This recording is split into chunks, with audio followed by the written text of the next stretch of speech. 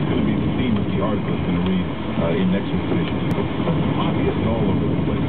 But of course, that's true about, about most uh, senators, most uh, congressmen, congresswomen. Uh, take Harry Reid, for instance.